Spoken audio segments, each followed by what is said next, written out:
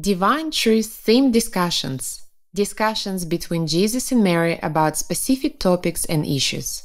This is session 2, part 4 of the discussion God's Laws of Forgiveness and Repentance, where Jesus and Mary continue discussing the operation of God's principles and laws of forgiveness and repentance, focusing more on God's truth about the personal emotional processes relating to forgiving and repenting.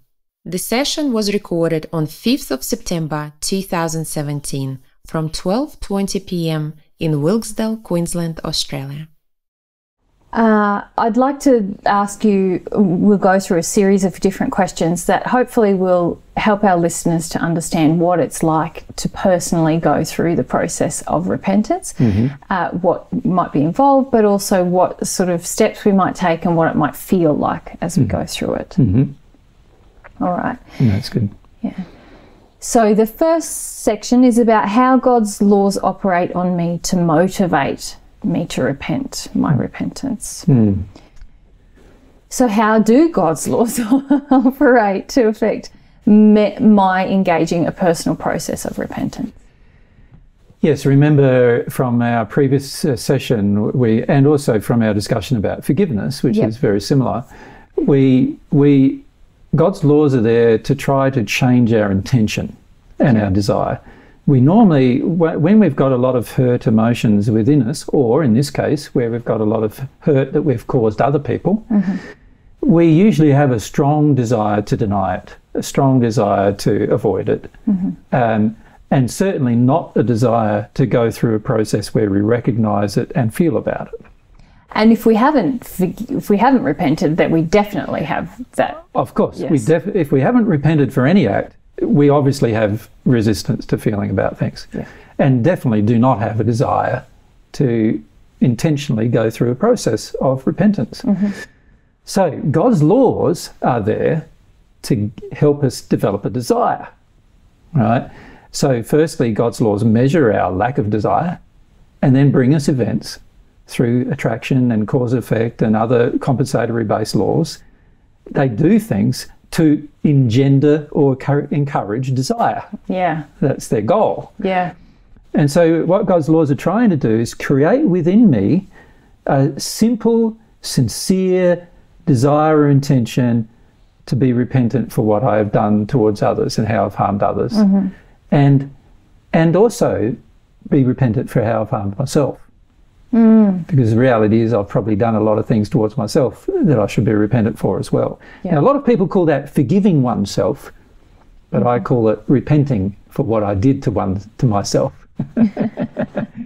Well, hang on. So, um, if I have harmed myself, I can understand forgiving. Uh, rep- that that's a process of repentance. What about? I hear some people phrase it when I have harmed another person, I have to forgive myself for that terrible, un- unloving act. Yeah, there's no, in my opinion, there's no such thing as forgiving myself. Is what I'm pointing out. Yes. What I'm saying is that every act of to, that I need to engage for myself is about repentance Yeah. towards Where I either towards myself Yeah. or repentance for how I've harmed others. Hmm. Now, this whole concept of forgiving myself for how I harmed you, Yeah. right? That is a part of your repentance process. Yes. In other words, you will eventually feel like you no longer have to punish yourself Yeah. for what you did to another person. Mm-hmm. But initially, the law of compensation demands the punishment mm-hmm. of self. Not by yourself, but it demands punishment because that's what the law demands whenever you do something wrong to harm another. As in, the law will be creating personal pain and suffering for you. Correct. While you refuse to repent for how you've harmed others. Correct. Yep. So the process of what people call forgiving myself for what I did to you is really the process of truly repenting Yeah. for what I did to you. Yeah. And, and if I truly repent for what I did to you, I will get to the point where I no longer feel guilt about what I did to you. And therefore, I will have, as they say, forgiven myself. Yeah. But that's right at the end of the process. Yes. It's not at the beginning or in the middle. Yeah. Because uh, obviously, you can't go through the process completely. unless you've fully repented. But here, what we're talking about is that God's laws are motivating me. Excuse me, I'm just going to have a cough. So, here, what we're talking about is that God's laws are motivating me to get a desire to do it. Mm-hmm. And, you know, there's a lot of ways, of course, that it does that. Like by bringing me events and situations and circumstances and everything demonstrating to me that I haven't done it, it causes me to get a realization, firstly, uh, an awareness that I haven't been sorry for what I've done to others Yeah. and that I should be. Yeah. And eventually get to the point where I desire to go through the process of being sorry for what I've done to others. And and that process doesn't demand anything of others, including the fact that it doesn't demand forgiveness of others. And what I mean by that that is others forgive me, you mean? that others forgive me. Yeah. Whereas what I see a lot of people who say they've gone through repentance, where they say, I'm sorry, mm-hmm. the next thing they expect is that the person forgives them. Yeah. Now that they're not sorry if they if they believe that. That very attitude indicates a lack of repentance, doesn't Correct. it? It Yeah. does. It indicates there's no desire for repentance, in fact. Yes. right? And all that they're trying to do is earn something mm-hmm. or re- re- regain a relationship that has been lost through their own action uh, without having to do any sincere repentance in Yeah. order to do so. Yeah. So, so someone saying, I'm sorry, and, um, and then continuing their behaviour, and someone saying, I'm sorry, expecting you to forgive them, is already not sorry. Mm-hmm. Yeah. And God's laws detect all that. Yeah. And God's laws will correct that as well. Yes. Yes, they, they will motivate that. They will, they will help the person who's on the receiving end of your bad behaviour see that you're not sorry. Yeah. And that person will start saying to you, No, you're not sorry. Hmm. You don't really care about this at all. You only want to get a relationship back with me. That's why you're saying you're sorry. Hmm. And God's laws will expose, in other words, our true condition to ourselves eventually. Yeah.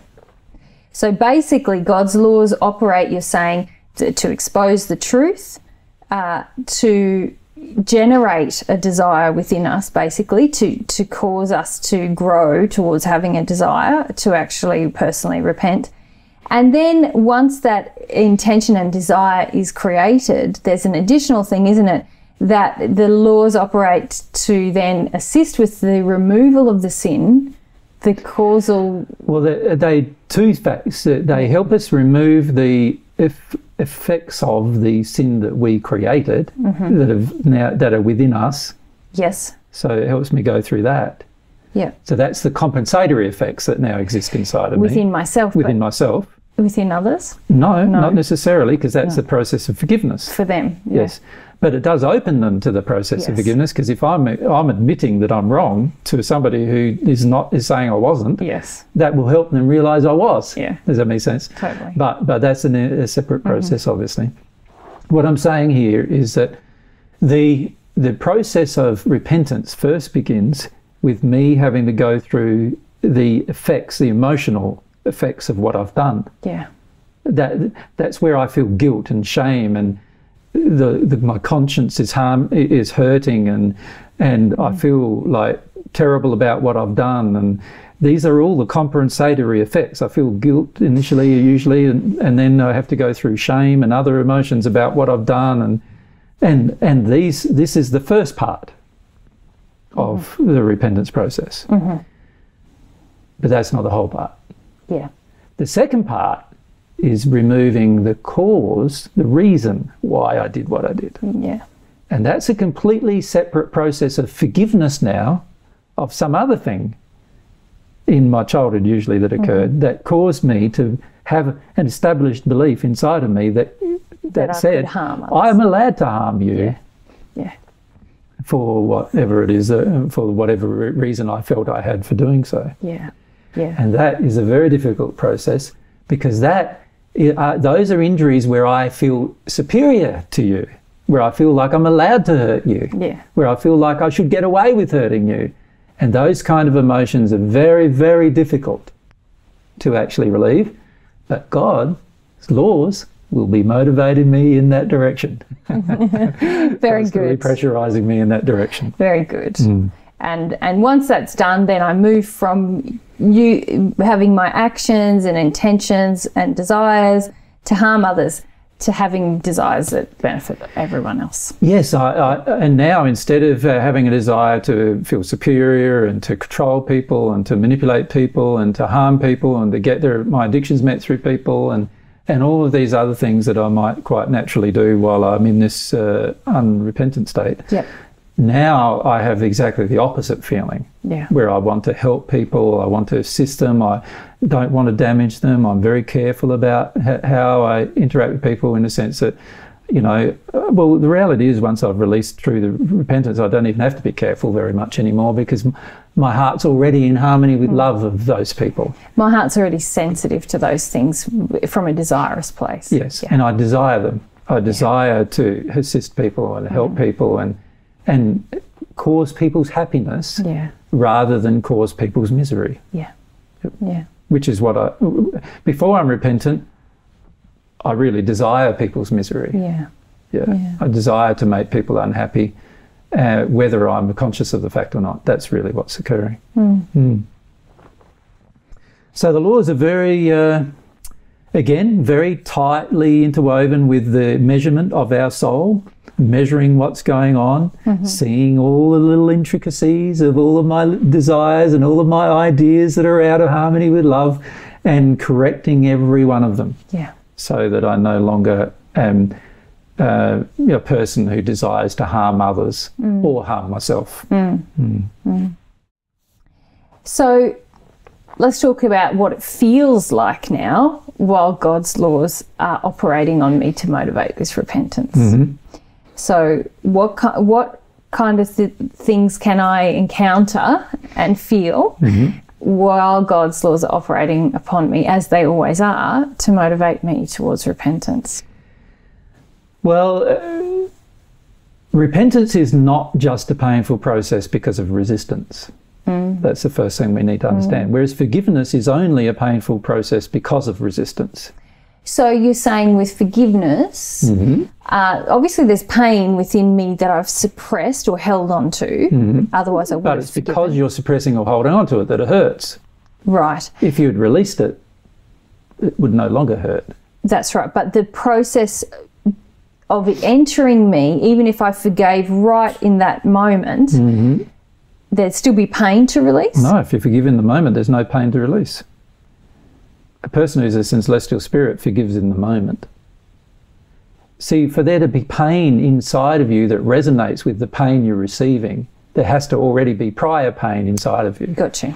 doesn't Yeah. there? For Yes. forgiveness, uh, Totally. in the process of forgiveness, prior pain must exist Yeah. in order for you to feel pain for so, something somebody's now doing. And when we're talking about the causal pain, so as a child, the first time I'm hurt in a certain way, you're saying the only reason why it remains painful is because somehow it was shut down from us just Correct. feeling it. And we were shut down from feeling it. Yeah, Now, now that's the cr- we have- basis of the pain. As I said, there are huge motivations in parents in particular Yeah. to shut down children from feeling their pain. yeah, Huge motivations. Yeah. And that's why most children by very in, by the time they're born, they already have motivations to shut down pain. Yeah. But it's very low motivations because this is why most babies cry readily. yeah, Right. So, but as they grow, th- the motivations become stronger and stronger. The parents' motivations become stronger and stronger, and eventually, the child is shut down from experiencing pain. Mm-hmm. If the child was never shut down from experiencing pain, every hurt that it ever received would all have been released immediately, mm-hmm. and therefore there would be nothing to forgive. Hmm. So, what I'm saying is the process of forgiveness is only painful because there's resistance. yeah, Not so with the process of repentance. Mm. The process of repentance is painful for two reasons. The first reason is our resistance to emotion, our resistance to feeling the truth about things, which is the same reason for as forgiveness, yeah, right? yeah, But the second reason why it's painful is because the emotions associated with compensation are painful yeah, and purposefully so. yes, if they weren't painful, it wouldn't then cause us to recollect and feel and go, no, I'm not going to do that again. yeah, Right? So the painful processes involved in repentance involve compensatory processes, Yes. and therefore compensation itself is painful. Yeah. and it is designed to be painful mm-hmm. by God, purposefully designed to be painful to correct us Yeah. so that we don't engage the same kinds of behavior that are loving as we did before. Yeah. So the painful process in repentance is twofold. The first part of it being the compensatory effect, and the second part of it being our resistance. Yeah. So it's important for us to understand that. It is. So go. So we'll go back now Mm-hmm. to this is before we're even engaging repentance. Correct? God's laws are operating upon us Yep. To lead us to the point where we want to engage it. So there's two factors of this. Yes. One is the same way that it's motivating repent- uh, for- forgiveness, Forgiveness.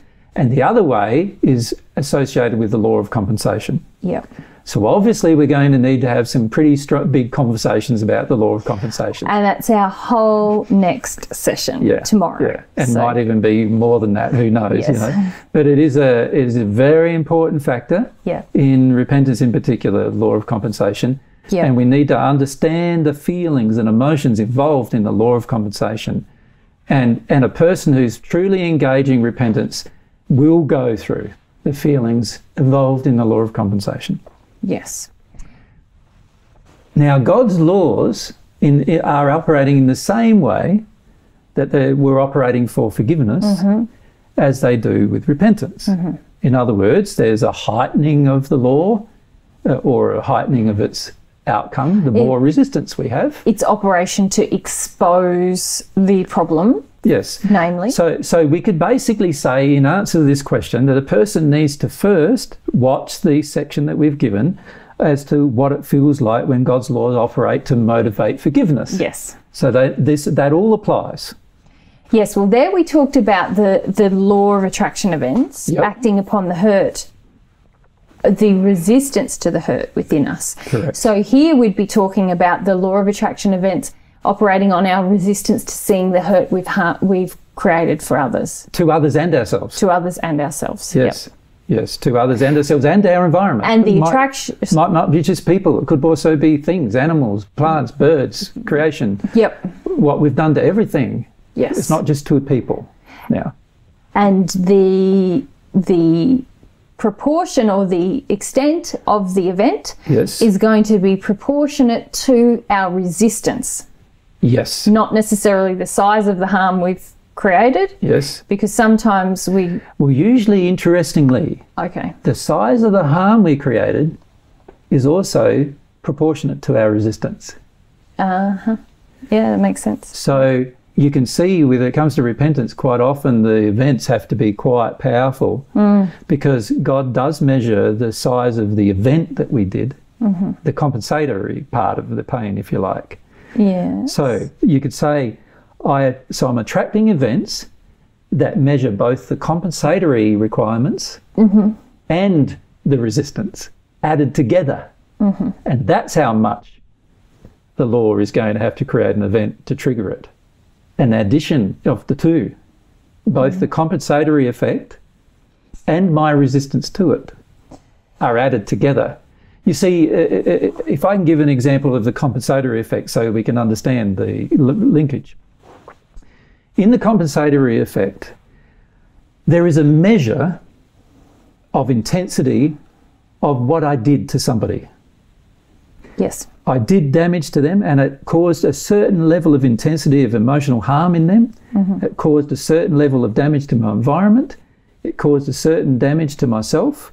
And all of those feelings have been perpetrated towards myself. They entered myself. God, the law, God, through the law, made those feelings enter me. yes and it's proportionate so if I'm in this shopping centre and I accidentally run into someone with my shopping trolley, Yeah. there's a compensatory effect that is vastly different to if I go into the shopping centre with a shotgun and shoot someone. Correct. The compensation is going to be vastly massively different, obviously. One is Yes. an accident that didn't harm anybody permanently. The other is an accident that harmed a lot It's of not lives. an accident. And it's, not an accident, harmed a lot of lives. So obviously, the pain associated with it is going to be quite high when we come to feel it. Yep. That's the pain that's going to be there already for us to feel.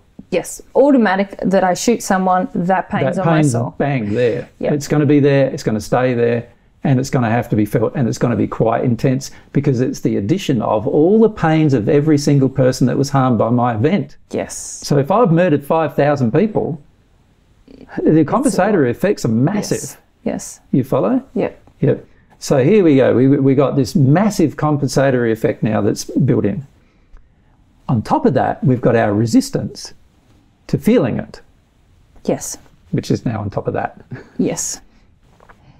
Now, Now, there has to be other events that happen yes. that trigger us into realizing these things. Mm-hmm. And that's going to be pretty massive events. Mm-hmm. Now, is it possible that I desire then to become sensitive to the pain that I've caused to others, mm-hmm. which will include the compensation, thus reducing my resistance? Would that affect the size of the attraction event? Do you follow where I'm Not, going? not a large amount because the compensatory side of the, of the event is much, much larger now because of what we've done. The compensatory part of the event is a, a large portion of our pain.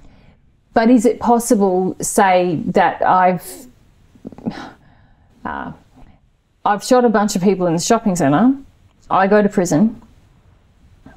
I stew in my juices for eighteen months, and then somebody at the dinner table starts talking about how they've shot other people. But I've already that's an attraction event, but I've already developed enough like desire to feel about that issue that it it helps me connect to the pain. I, Well, that's true. It can do, but but it's going to have to be like honestly for a person who purposefully chose an action that was unloving, mm-hmm. that harmed a person, another person to such a massive degree.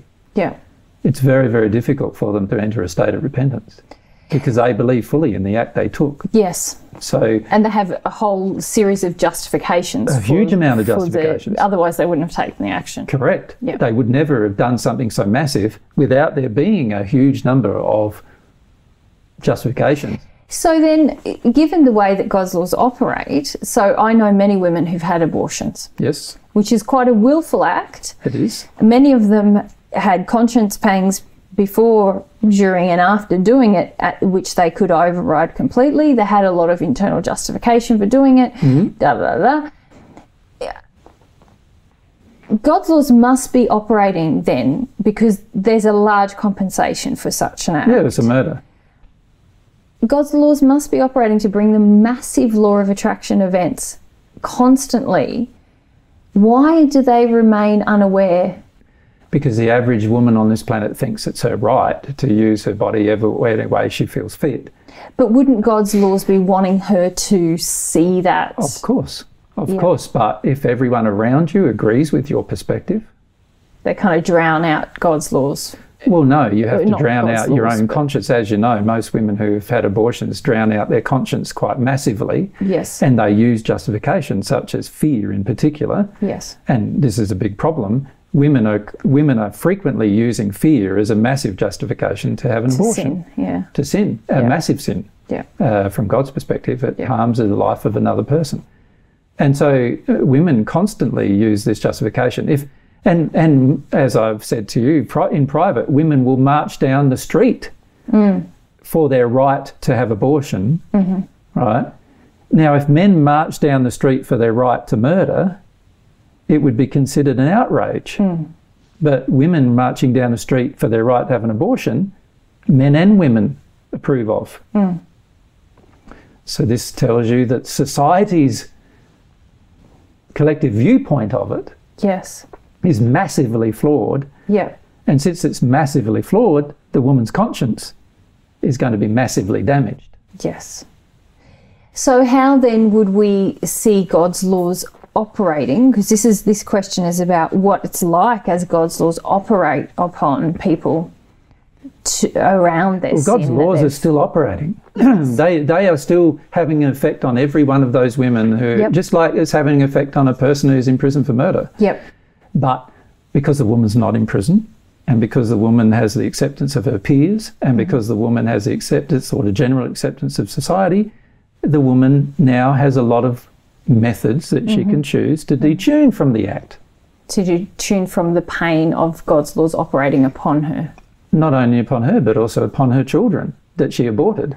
Yes. if she could feel them, she would never want to do it again. If she could feel the damage that was done to them and how long it's taken for them to overcome the damage, she would never do it again. Hmm. But she's detuned from all of that. Hmm. Purposefully detuned from all of that, I hmm. might add, so that she doesn't have to feel about any of those things. So while many women's conscience may partially or a little bit bother them, the reality is there's a huge amount of motivation there for them to completely ignore their conscience and completely ignore the pain that comes through the compensatory effects until they arrive in the spirit world. Mm. Mm. And then, of course, they're presented with those shocks. And for many women, they are completely shocked. They think they had a great life where they had one or two abortions and they think they had a great life and they did they were a good person and everything and they arrive in the same condition as a person who murdered one or two people mm. Yes, I was just thinking it's really interesting that people generally seem to be more sensitive to law of attraction events which are acting upon them being harmed than they are because God's laws are operating, and as you've just explained, it's even more profound. It's even more pronounced the pain that we have within us when we've harmed another person, and yet, as a general rule, what I notice is that we're all less sensitive to those law of attraction events that are attempting to hmm. highlight that pain, the compensatory pain that we have about hu- hurting others. Well, there's reasons for that. Many of them include the fact that the fact that I'm justifying the harm in the first place Yes, yes, of course. is an indication of how detuned I am from mm. my conscience and God's laws and the, you know love and other things with regard to those particular things that I'm choosing to do. Mm. So it's it's very important for us to see that the level of detunement to my actions is what causes me to actually engage those actions. Mm. And the more higher my justifications are to be unloving towards others, the more difficult it's going to be to be sensitive to what those justifications are. Mm. In other words, I'll believe the justifications are real and true and deserved and right when the opposite is the case. Yeah, And because I have that level of like approval for my own unloving actions, yeah, it's going to be very, very hard for me to be sensitive to how the laws are trying to correct my unloving actions. Mm. And often we then feel like when the laws are trying to co- correct our unloving actions and highlight our unloving actions, we suddenly feel like we're being harmed. That's what I notice in most people. Mm-hmm. When they are the perpetrator, Yeah. they frequently believe they're being harmed when somebody is just treating them correctly or truthfully or lovingly. Or when they attract an event which is lesser in uh, Intensity. intensity Of what they've ever done. of no no yes lesser intensity of their exact same sin Yes. sometimes they've they've sinned in the same way except in an extreme way and they attract a small event and then they feel like it's the end of the world That's right. not seeing the own, their own hypocrisy in Correct. the fact that they have been harming people in that way Correct. for 20 years or something As I say, the compensatory effects and the level of detunement that can cause a person to harm others mm. already has to be massive. So, interestingly, if we're thinking about what it feels like as God's laws operate upon me to motivate my repentance, often doesn't feel like that much until we till uh, until things get pretty extreme. Well, it doesn't feel that much, but it's not because they are, it isn't that much. Oh yeah, It's, it's because we're in complete denial yeah, of how much. Yeah, Complete denial. yeah. And we had to be in complete denial to, to act the in, act in the, do the act in, In the first, place. We had to be. we had to already be detuned from our conscience, already be justifying, unloving, already feel entitled, already feel like a lot of already feel superior, already feel yeah. you know that we we can we're allowed to already Yeah. feel that God's not going to punish us. Already, Yeah. there's a lot of massive beliefs that cause us to take an action that's a sin towards others yeah, or to the environment, Mm-hmm. and it's very hard to correct them because of the massive amount of false beliefs we have. Yeah. Far more than we have with regard to forgiveness. yes, Yeah, far more. Mm. And that's why it's much more difficult uh, to go through, sincerely go through the process of repentance than it is to go through the process of forgiveness. yeah, Yeah. So, uh, as I've said in the notes here, yep, I've got a God's law of attraction brings us the events that mm-hmm. show me how I'm hurting others, but I ignore them. Mm. God's law of attraction brings me events of a similar nature. I ignore them, or I blame others for, or I blame yeah. others for them. Yeah, and I react angrily again, even perpetrating the same behaviour back again. Mm-hmm. God's laws then bring me the exact same intensity of how I've harmed others. yeah, You know, potentially with the the death of someone I love, or and, and if I still, I, I usually still ignore them, unfortunately, because I'm so detuned yes, from what I've done yeah, and uh, and you can see God's laws are operating in a massive way. My physical body is getting destroyed by the emotions that are within me, Yeah. and I ignore that yeah, as Yeah. well. yeah, Um, people around me are pointing out that I'm doing things wrong, and I ignore that yeah, as well. yeah, Whether they're kind or not kind, doing it, I still ignore it. Mm. Whether they're kind or not kind, yeah, and and like you can see there's, there's a constant build up of this stuff of of these kind of emotions. And this is what it feels like. Eventually i get to the point unfortunately for most people it's well after they've passed into the spirit world. But eventually i get to the point where i realize that i've sinned. Yeah, because of the massive amount of things that are now happening through these attractive events because of what's going on in my soul that I'm attracting these events and eventually I get to the point and and for most people unfortunately it's only because they're now in the hells and they can do nothing else but admit yeah. That, That's that sad, sinned. but yeah. that's the way it is very few people actually go through sincere repentance on the planet Mm. They usually go through it after they've passed Yeah. Hmm. Yeah. Just mention a couple other things that we've got here in our notes. Sure. They're just slightly different from our forgiveness ones. Of course, they're going to be different because it is a different process. Yes. It's an additional process. Yes. But we talked about uh, kind people and how they would approach our lack of forgiveness. But then there's unkind people who will actually exploit our lack of repentance uh, in order to Perpetrate their unkindness. perpetrate um, their unkindness and use us in in ways that help them either further their uh, sort of sin, Mm-hmm. uh, further sin against other people, kind of So we be- exploit others. So, unfortunately, when we don't repent, we become a player yeah, in worse acts Mm-hmm. that we now also will pay penalties for. yeah, We can become a player because we're now easily manipulated yeah, by spirits or other people into doing these things. Hmm. So, for example, someone like Hitler can't come into existence without there being a huge amount of people who agree with him. yeah, And many of the acts that those other people did in support of Hitler's belief systems did it because they themselves had the same belief systems. yes, And and this is the thing is that uh, even things like genocide that has occurred in history can't occur unless you become a player in Yeah. a larger scheme of things yes, and therefore become also a perpetrator involved in those yes. that larger scheme of things. And even if the person who leads, say, that genocide has a certain set of beliefs, um, I only need to have another set of beliefs that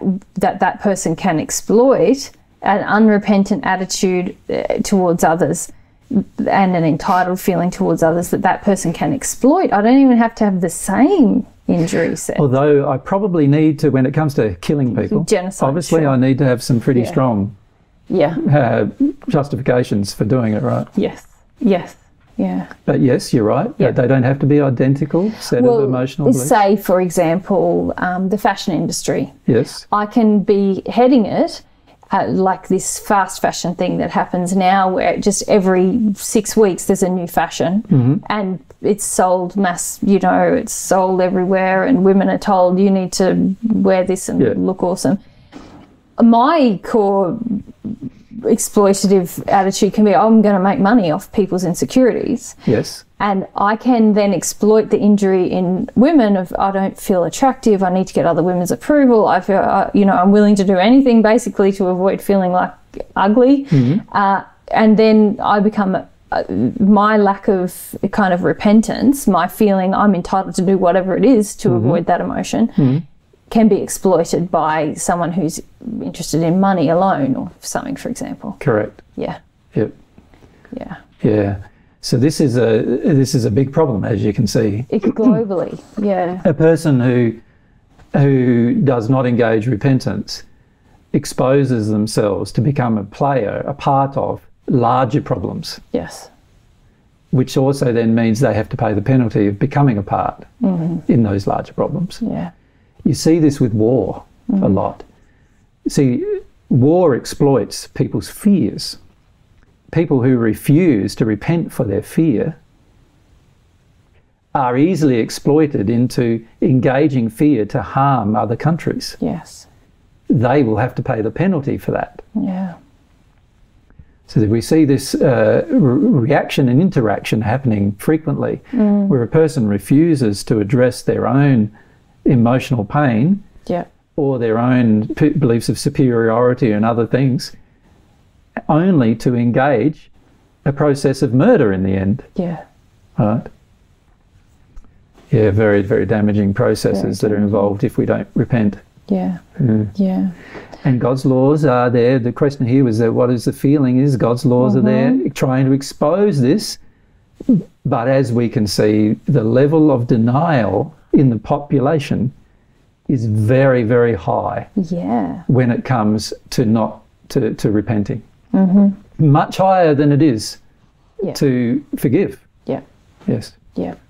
But yet, we are all in a lot of physical and emotional pain. hmm And that is the operation of God's laws, trying to expose this lack of repentance in us. Correct. Yeah. The reason why we're in such tremendous physical and emotional pain is because of the collective Refusal. refusal to repent for what we personally are involved in doing and also personally supporting. yeah. Yeah. Yeah. And they're all human creations. God's not going to fix them. Yeah. We have to fix them. Yes. Mm. Yeah. Yep. And obviously, the the aim is to get us to a point where we want to fix them. Yes, That's the whole why the laws are operating in that way. exactly. Yeah. Yeah. Yeah. Yeah. Mhm. Okay. There's other things there about the attempt to utilize your lack of recognition of sin in order to support somebody else's sin. Yes. This is a very important point too, I feel, because frequently, you know, the laws are there trying to expose to us that um, we need to stop supporting the sin of others. But frequently, a person who is not repentant wants everyone around them to support their lack of repentance. In other words, to say, no, you're doing the right thing. It's like a heap of guys getting together, and one guy is is having sex with a lot of different women and hurting a lot of different women through that process. And all the other guys go, you beauty, go for it. Isn't it wonderful? Because they all have the same desire to do Yeah. the same thing if they could. Yeah. Yeah. right? And this is what happens is that we frequently engage again. Our associations are such that we engage people who will approve of our actions. Mm. Mm. Is that also, you know, we're talking about utilizing my own lack of recognition of my sin. So if, if say you're in that group of guys, and there's a young guy who's never known any other guys, and all the guys he's ever known have this attitude to women. So he's very unsensitive to the sin at this point. See, I can't agree with that. If he's never been involved in the sin, it's Yeah. highly likely that he's going to be quite sensitive to the sin. And it's only through a series of choices and decisions that he desensitizes himself mm-hmm. to the sin. You see? Yeah. Hmm. Okay. It's very rare for a person to purposefully take actions that harm other people or the environment without knowing what they're doing. Yeah. Unless they've been punished away from that, they, unless there's some kind of fear. It's even then very rare. Mm-hmm. So I don't understand the point then. How can I how can someone utilize my own lack of recognition of my sin? You mean a willful recognition of sin there? Yes, my own desire to avoid my own recognition of sin So, so willful because you're saying there's It's no way you hard. can't be aware of sin. Exactly. Yeah. Yeah. And particularly sin to harm others. It's Yes. quite pain that others are being harmed, Yes. usually when you're harming them. And the, the only time I'd probably uh, say that's not the case is when you're feeding codependent addictions. It Uh-huh. might not be as clearly defined to you then, Yep. but but usually it is. When, when you're harming others, usually it's very clear that you're harming them. Yes. And usually those people are complaining that you're harming them and everything. So obviously, usually very clear. Yeah. Yeah. but but you know, for me to then continually engage it obviously means that I must be quite detuned from it. yes. Yeah. Yeah. Yeah. No, got you. Mm. Got you. All right. Mm. Okay. Very good. My conscience obviously will bother me too. Yep. Just let me uh, have a pause.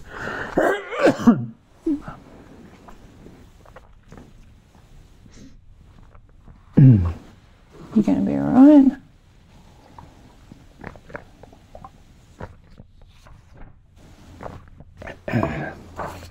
Okay. One, two, On me, girls. three, We'll see how we go. five to go. Yeah. Um, my conscience will bother me too, obviously. Um, the conscience, which we'll learn about later, is a is a mechanism by which God can communicate God's truth to us, and and that is going to be at us constantly, Yeah. saying you're doing the wrong thing, you're doing the wrong thing, you're doing the wrong thing, you're doing the wrong thing, Yeah. and we have to become more and more desensitized in order to avoid To it. To avoid it. Yeah. Yeah. Mm. Yep. Yeah. Okay. So that's how God's laws are operating upon us. Yeah. Many different ways and Yep. lots of different painful ways. And yet, as we've mentioned many times, we're often fighting even the awareness of that pain. Yes, obviously God's laws also have the ability to operate on many pleasant ways. When we begin to actually want to engage the process of Exactly. repentance. But Yep. here we've been talking primarily about getting the intention to, which means we don't have the intention to. And these are the ways God's laws will be operating upon us. and how it's going to feel. Mm-hmm. Yeah. Intense. Yeah. But we're frequently highly detuned. Yes. That- Yeah. And it's interesting, the more sinful a person is, the more highly detuned they are. Yeah. And you can see it. Uh, you know, we see it every day when we Mm. have our seminars. The more sin a person is doing, the less conscious they are, and the less conscious they want to be Of of their sin. of their sin. Mm. Yeah, that's very interesting. And I'll in tomorrow's session on conscience, I'm going to ask you a bit more about that. Mm. Yeah, yeah. Okay. Let's talk about speeding up the process of repentance. yeah. So, in the last section, we t- we I had a question about if I can see there's something I need to forgive, uh, but I'm not really yet wanting to do it. How can I speed up that process for myself? Now we're asking the flip side question: if I if I can see rationally, gee whiz, I can see I probably have hurt someone there, but I don't actually care yet, really, if I'm honest emotionally.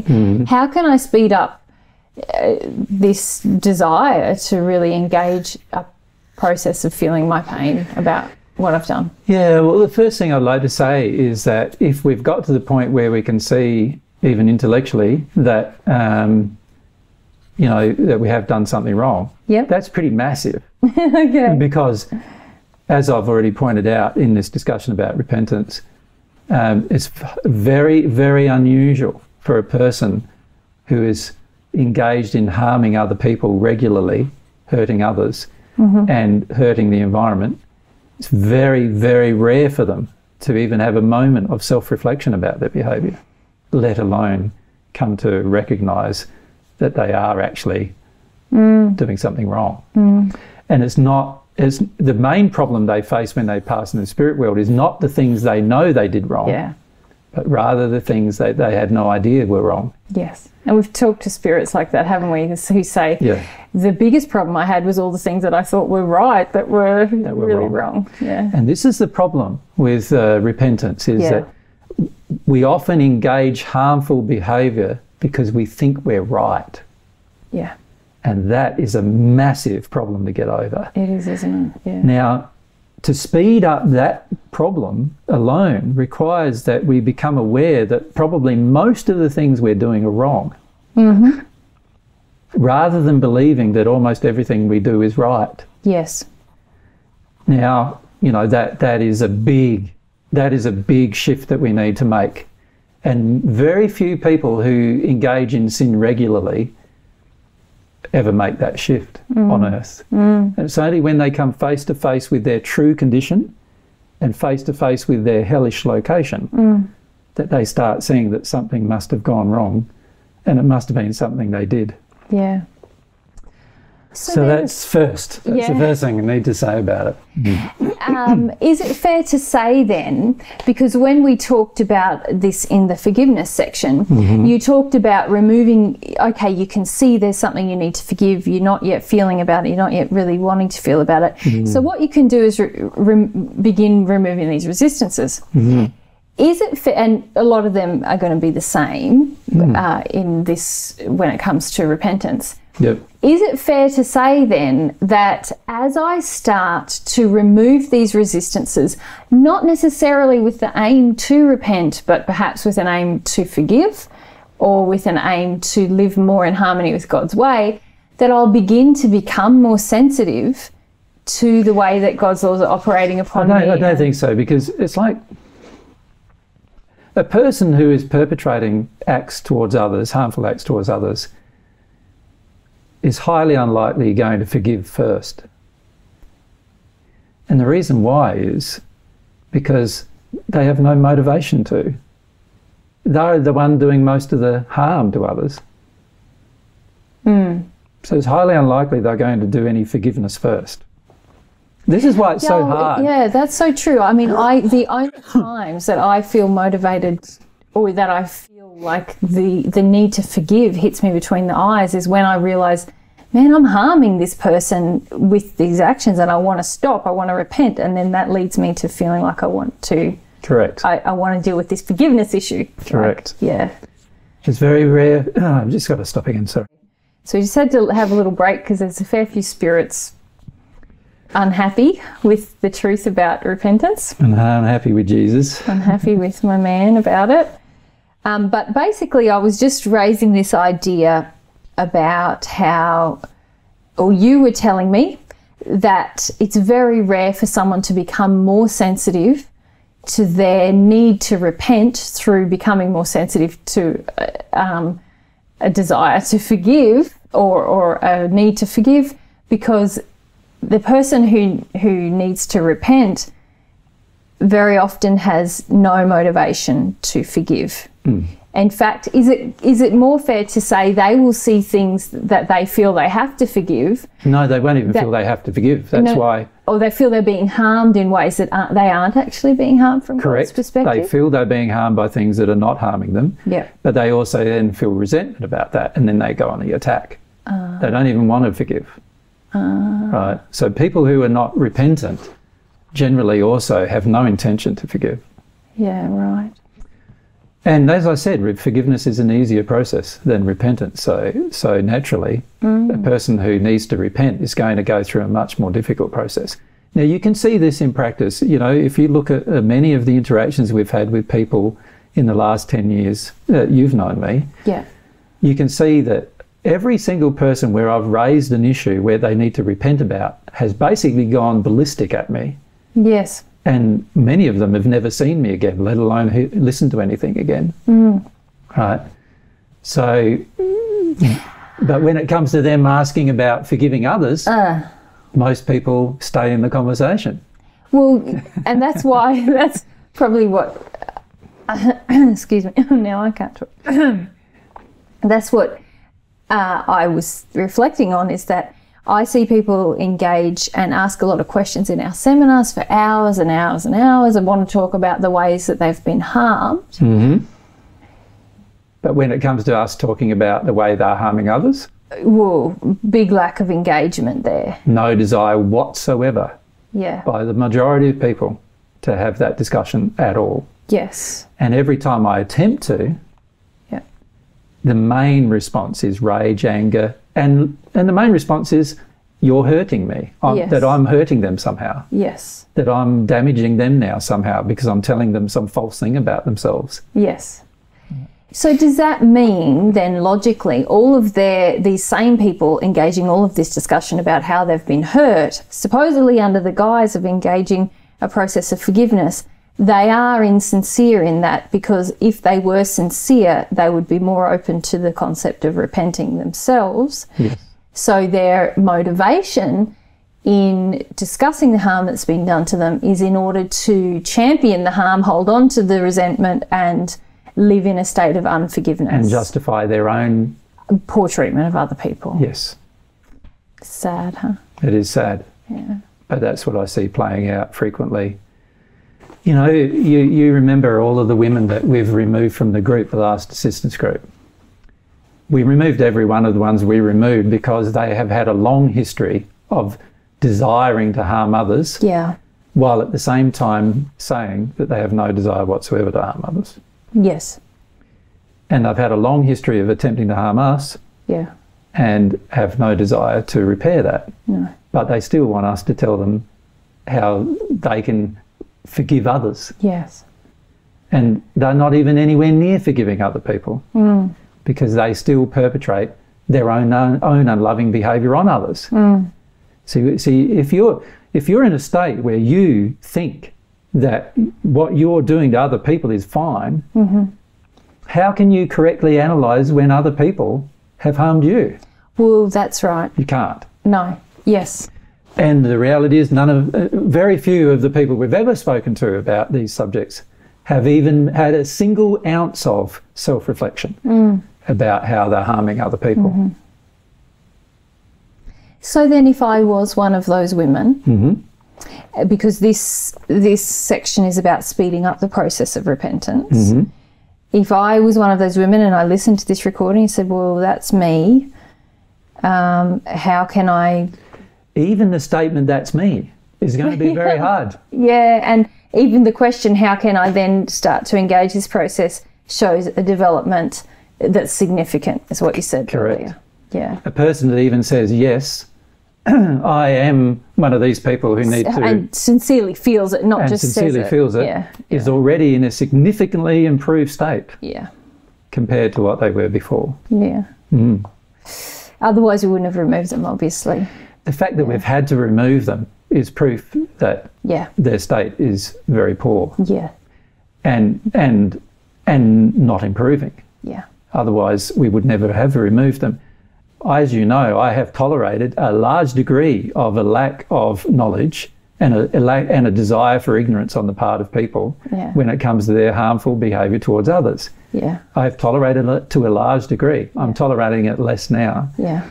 But, you know, the fact that we've tolerated it to a large degree is something we're correcting Yeah. It and hasn't needed been to correct. Good on our But at the end of the day, so that's a good thing on our part. But at the end of the day, it's highly unlikely those people we've removed are going to have a large self reflection about the reason for their removal.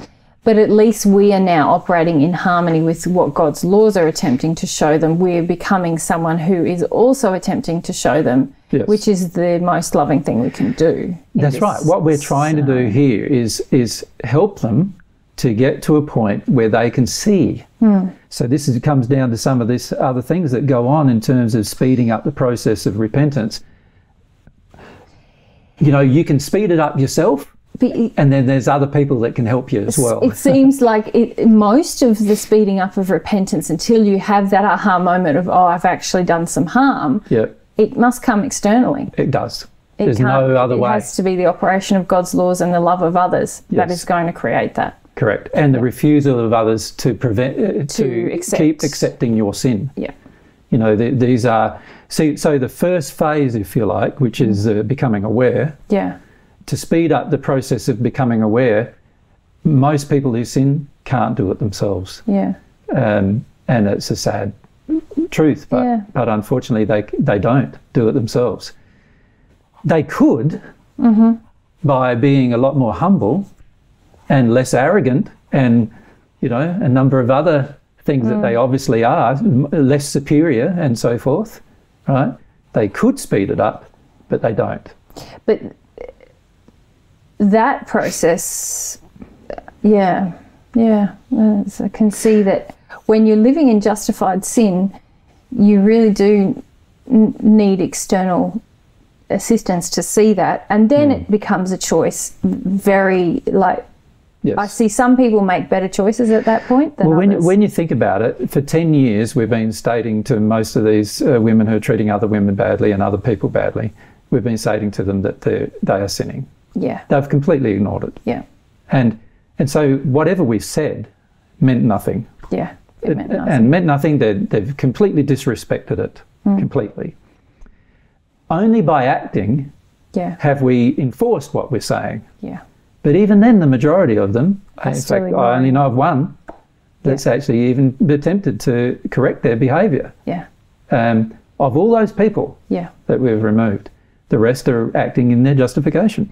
And we should say that in our private life, we've had, or in our work life, if you want to put it that way, Mm-hmm. with divine truth, we've had to do this with some men as well. Yes. And yeah. they're all really in the same boat Yes. eh, with a long standing history of ignoring it and Yes. still ignoring it really after. and a person acted. ignores it because they believe they're right and you're Yeah. wrong. That's why Yeah. they ignore it. So, so they say they're listening to Jesus, but uh, they don't. They don't think that. No. If they did, they'd listen more and do more. You know what I mean? Yeah. The reality is they believe that they they what they do is they tune in, and this is what a person who does not want to repent does frequently. They tune in only to what they want to hear Yeah. and tune out of the rest. Yeah. And because they are harming others, they have a higher desire to tune out Yes. than the majority of people do. yeah. So it's going to be very, very hard to reach them. Mm-hmm. And the only way to reach them is the way God reaches them by acting.